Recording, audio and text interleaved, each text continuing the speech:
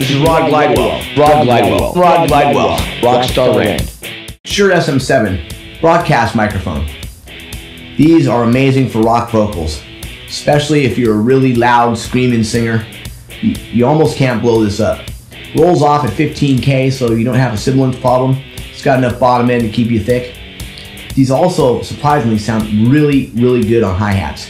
If you want hi-hats that are kind of trashy and not so crispy and sizzly, this mic is fantastic on it. And the snare overtone you'll get from this mic on a hi-hat is really, really good.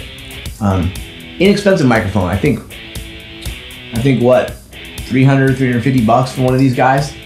Make a whole bunch of different vintage ones. This is this is a new one, and uh, I really like it. I've got a lot of use out of it already. I think everybody should have one.